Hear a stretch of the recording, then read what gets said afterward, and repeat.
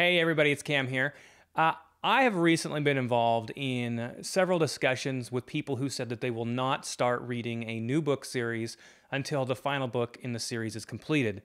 That's obviously not an issue I have. I talked repeatedly about how oftentimes I will just move from series to series, only reading books one or two, just because I love the world building. That's what uh, you know gives me that reading high is reading a new series for the first time. So. Uh, over the course of uh, the last 10 years, um, there's been a lot of times when I haven't read full series, but this year I tried to make a concerted effort that I was going to read um, second, third, fourth books of any book that I found as a uh, five out of five or a hard 10. Um, so in this case, this year, I actually read four series that completed a book. Um, in some cases, for a couple of them, I read all four books just this year. Uh, and for two other series, I read the final book in the series this year. Uh, I'm also going to throw out a bonus fifth series that I actually finished last year before uh, I started the, the YouTube channel or before I brought back the podcast. And it was a series that I really, really enjoyed. Uh, that I read the first couple of books a, a, few years back, and then I finally read the last one uh, last fall. But uh, so I will talk about all five series that uh, um, I have recently completed. Uh, we're going to start off with number one, uh, being Sol's Harvest series by M.D. Presley. This is a uh, gaslamp fantasy that um, is an analog to the American Civil War. Uh, we each of the four books has a different point of view character, and the story is told in a split method of the, the current time period that serves as like the storyline and a, a past uh, time period that serves as like the world building for the book. Um, each of the four characters um, are uh, enjoyable. I would say definitely the first three um, I cared about more because the fourth book is kind of like a bigger, wider series wide thing. But we have uh, a world that um, uses a really cool magic system where everybody has uh, three breaths. Uh, animals have two breaths, uh, plants only one, and people who can use magic actually have a fourth breath that can be either in your mind and let you do like manipulate people's uh, thoughts or convince them to do things. Uh, you have your body, you can turn yourself into uh, like more powerful version of yourself, like make swords, things like that. Uh, and then you have your spirit uh, that allows you to actually uh, take other people's spirits potentially, or uh, unaligned uh, breaths, as they're called. Um, the other style is to uh, make things that are useful for people in that. So we ended up having a world that was a lot like the American South and the American North uh, prior to the Civil War. There's a big Civil War that happens before the book starts, and that's the past time that we're being told about. And then we have a, a current time where uh, a woman named Martha Childress is trying to take a child who she's been tasked to uh, get to her father. Um, she's trying to get them there while some of the other characters are trying to stop that. Um, I'm not going to go too much farther into the story right there, but just know super cool magic system. If you have interest in the American Civil War, this has some a really cool, uh, provocative uh, role on that where uh, the the war is basically fought over people who think that breaths need to always be let free if they're not, you know, currently actively in something living, and those who don't see a problem with it. So the slaves in this case are uh, just breaths that have no free will or no, uh, you know, thoughts of their own. So I, th- I felt like it was just a really cool story. I really loved the world building and. Um, I think that for me, maybe even book three was my favorite one in this because um, the the character that we get to see and and, and inhabit and for book three uh, is one that in the first two books I really hated, and it was fun being able to see you know why he is the way he is. The second series that I want to talk about is Empire of Ruin by David Green. Uh, I read all four books in that series this year. It's a true epic fantasy. We have the whole like existential crisis to the entire world. Um, you end up having a kingdom. It's not a very good kingdom in terms of like they're genocidal, um, they're jerks. They are trying to wipe out the elves that are on the uh, the continent, and they're really close to managing to pull that off. When suddenly an old threat uh, that we get to see only at first in the prologue, uh, they're called the First People. They're kind of like a mix between humans and elves. They use a different kind of magic from the humans, and um, they reappear after uh, several thousand years and suddenly we have a real fight. Uh, I really liked a lot of the characters in this. Um, Kayleen, especially. Um, she is what is called a sparker. She can use that magic that the humans and uh, now that the elves use as well. And um, she has done her duty and fought the elves for a long time, but she doesn't uh, actually believe that, that they should, right? Wipe out the elves. And uh, then um, her mother actually happens to be in the first group that fights those first people. Uh, the book is just a really, it's really fun. It's true epic fantasy. Uh, if you are someone who likes the Wheel of Time, David Green is a big fan of the series as well. So there's a bunch of Easter eggs in there. Uh, my favorite one happens to be when Kayleen is with a party and they they go to an inn. This the innkeeper is really skinny and he's a huge jerk.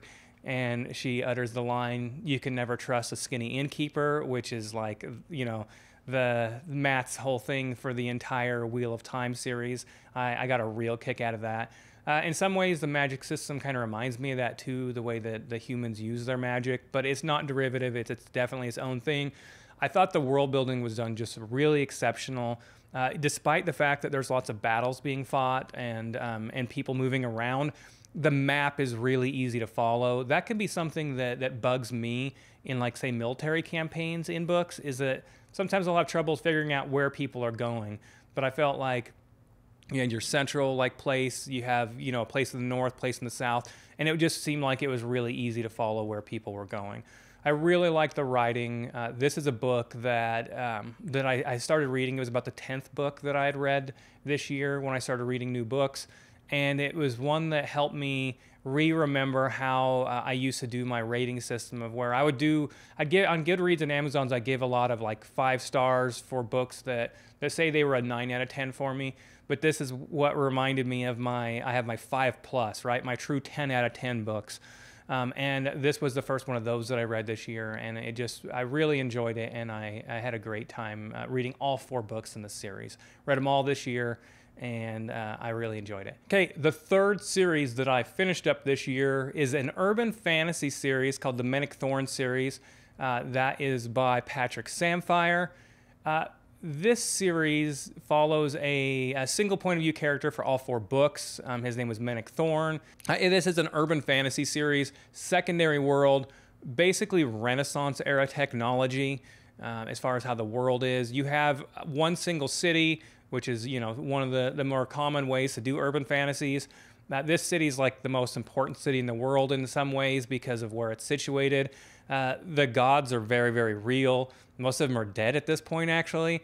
Uh, and one of the things is, is that, that mages get their magic from like the decomposing essence of dead gods. So that was kind of a, a funny, uh, you know, element in there. Uh, everyone uses magic in different ways. Mennik Thorn uh, actually sees magic as colors, so he's able to manipulate it that way in order to, to actually use his magic. Uh, he's funny in particular because he is a very middling mage. He's not super weak, but he is nowhere near the most powerful mage. But he's a freelance mage in a world where no one else is basically a freelance mage. There are three high mages in the city, and those three have uh, are basically the patrons for all other mages. And um, so Mennik being on his own, he does a lot of you know kind of crap jobs that just the average person wants him to do, like see whether a spouse is cheating, maybe exorcise a ghost or something like that. Uh, he gets beat up a lot. Uh, he get, ends up uh, having to use his wits and um, little tricks here and there to end up facing off with things that are way more powerful than he is. The books are are enjoyable. I laughed out loud a lot, but they still do have uh, a little bit of heart and meaning, uh, you know, be, between behind them um, Thorn wants to help out uh, the poor and things like that, right? And uh, you know, we get to see all the inequality that that takes place even today, but was probably you know really bad back in a Renaissance era type of a situation. Uh, really enjoyed all four of those books. Um, four of the five series I'm going to talk about are four book series, only one trilogy. Uh, so all of them, that's another thing I think uh, a positive for all of these is that it's uh, not going to require you know 12 books to, to finish any of these series off. Uh, the fourth series that I want to talk about that I finished off actually just uh, a week ago while on vacation. I read all three books. Uh, I had read the first one, Plague of Giants, already, but it is the Seven Kenning series by Kevin Hearne. This one is another true epic fantasy, maybe one of my favorite magic systems of any series ever. I think the second book in this series might be my favorite second book in any series ever. It just, to me, it's just perfect. Um, the magic system is really cool. Uh, a kenning, in this case, is a type of magic. Uh, seven kennings, you might uh, get where this is going. But for when the series starts, we only have five kennings. Uh, and so each of the five uh, countries ha- that has their own very unique kenning uh, are uh, shaped very differently because of that. So one of the, the people have a water kenning. They can do a bunch of water-based magic including um, you know killing people by pulling their blood out of their body or uh, you know curing impurities. For example well all their cities are going to be coastal cities or river cities because water plays such a huge role. Um, there's ones that, that use uh, stone as their kenning and they're going to build all their cities out of stone. They can build roads. They can do all kinds of cool things with that magic right? One country doesn't have a kenning and these basically monstrous creatures uh, make it uh, unsafe to leave the city walls a lot of the time. So that even that, not having a magic system shapes them. Uh, one of the coolest things about this is that the magic, in order to get magic, you have to basically be willing to commit suicide.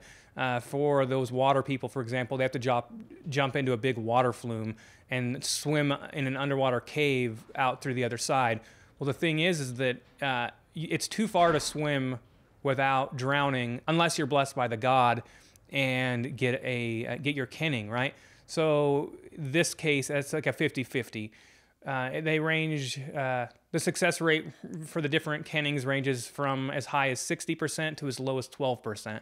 So there's a good chance you're going to die uh, trying to get your magical ability. And then using your magic can potentially aid you, or it has other uh, um, things that are um, that are definite detriments to you, right? Just a really cool magic system, really cool world building. I love the whole way the story's done. Now, my bonus uh, one is one that I actually finished in 2022, but like I said, I wasn't doing episodes at that time, and that is The War for the Rose Throne by Peter McLean. This is another uh, urban fantasy, also set in about Renaissance era tech. Very low magic, though, and this is a definite grimdark series. Uh, you have a man named Thomas Piety. Uh, right before the series starts, he has been a conscript um, and he has been fighting a war for uh, his queen. Well, he goes back to the city that he's from, um, and he had been a gangster before he was conscripted and taken uh, to the army. Uh, he comes back to his city with uh, a bunch of seasoned veterans, uh, stone cold killers, all of them, and he spends a bunch of the book trying to get his territory back from what actually ends up being foreigners that uh, had taken over the territory in the city but while he was gone. Uh, we're talking uh, some true grimdark. Lots of people die. Thomas Piety is the main character. He is definitely not a good guy. He is not a true hero. He's a definite anti-hero, uh, but he is our, uh, you know, our focal point. I also uh, ended up listening to a couple of these books. I'd already read three of the four, but I listened to the final two again on audiobook, and I really liked the audiobook narrator as well. So um, that's definitely a, possibility. Um, really liked just the the grittiness. Um, all of the characters they've been uh, dealing with. Uh, uh they're dealing with PTSD from from the war.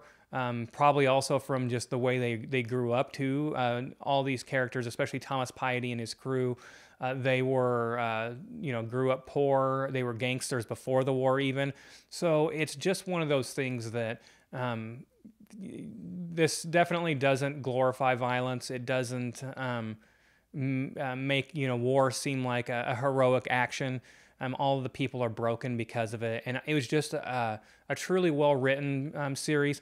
All the books are fairly short, too, three to 400 pages long. And just all around, I just loved the series. It's definitely one that I'll probably go back and reread at some point. So, that's five series for you if you are uh, someone that wants to have a finished series before you start. Thank you.